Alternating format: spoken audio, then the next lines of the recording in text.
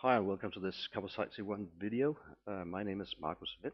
Uh, I'll be uh, quickly showing you how you can get uh, uh ASP.NET's MVC3 up and running in uh, Composite C1. Uh, this includes the Razor syntax. And I'll just quickly run through the, the steps you need to go through in order to go from scratch to MVC Razor running in Composite C1. Uh, first off, uh, you need to go install a WebMatrix. Uh, go visit the Microsoft website and download WebMatrix. Once you have WebMatrix installed, uh, you go ask for site from the web gallery. Now we just got added uh, recently, so you'll find us all the way down here. Uh, but you select us and you start the install wizard. Once you have this uh, installed, you'll have a view like uh, this, and you go ask uh, to run the website, and you get a, uh, a startup wizard where you can uh, select a demo site. So that's what I've done here, uh, giving me some layout and default content and so on. Also,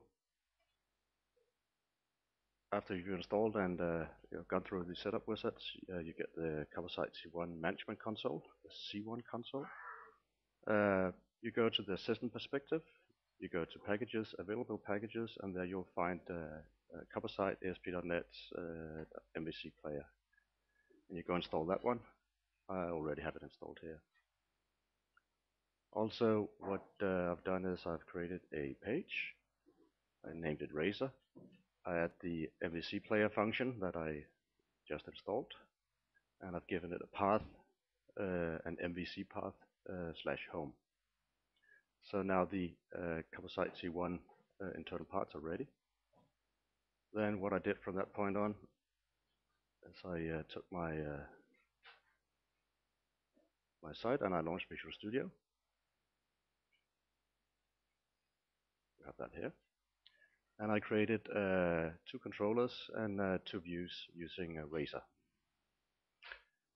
So uh, let's dive into it.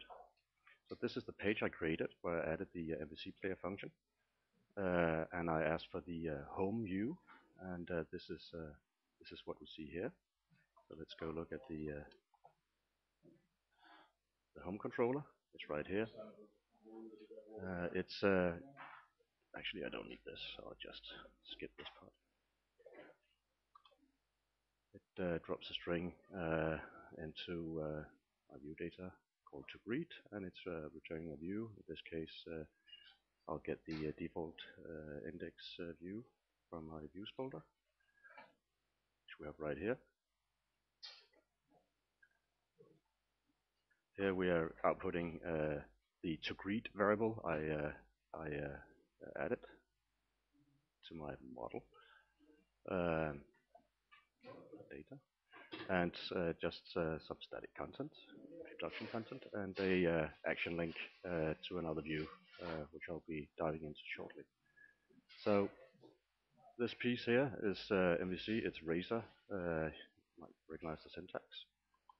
And so this is the result I'm getting by, by adding my, my function here.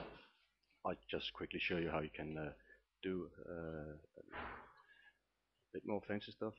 Uh, I also created a pages controller taking an optional integer and if I don't get an integer I'll set it to 10 then I'll go instantiate the uh, data connection object with which is a Composite C1 specific thing, which allows you to get at any data, both the core data and any data types you, you may define uh, through UI. Uh, here I'm grabbing just the page uh, data, uh, ordering it by title, and then I'm uh, taking the first 10 results if I don't get a parameter i. Um, and then I'm storing that for my view, and I'm just storing how many pages I'm maximum expecting to get, and I'm returning the view. If we go look at the view, we have it here. I have a small include statement, so I can uh, go get type safety down here. Um, I'm outputting the page count number, so I'll have a heading saying top 100 pages or top 10 pages and so on.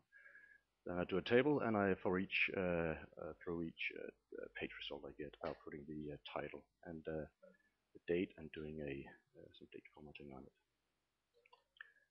So if we return and try to click this link, this is linking to my pages view. So here I get top 10 pages uh, ordered by title as specified in the controller and the, and the publishing dates. Here they're uh, formatted using uh, uh American, uh, English American format. This is of course if, if, you're creating a German page or Danish page and so on. this will automatically just work. Okay, so I try to add two here, and we get two pages. So this is uh, basic MVC running here. of course, because the data type system in Composite C1 is uh, type safe and interface based, uh, I can uh, get IntelliSense on all data properties, including those I create via the wizards inside the C1 console. So if we wanted to output, uh, say, the menu title, just go and ask for that one. Sorry, I have some Visual Studio toolbar here. Okay. And we go back, we'll refresh, and of course we get menu titles like this. So uh, you can use uh, MVC Razor in Composite C1. Uh, an important uh, point is uh, you can also use uh, classic ASP.NET forms controls. You can even have it on the same page. This could come from controls. This could be Razor. You can also use raw C Sharp output markup. you can use XSLT. we have some pretty neat XSLT features in the system also and uh, there are some simple uh, HTML templating features as well. If uh, you don't know Composite C1, go check us out. You'll find us on uh, www.composite.net. We're free open source. We're .NET powered. You can run on XML or SQL Server. We have linked data interaction, so you can move back and forth. And uh, you have a lot of options.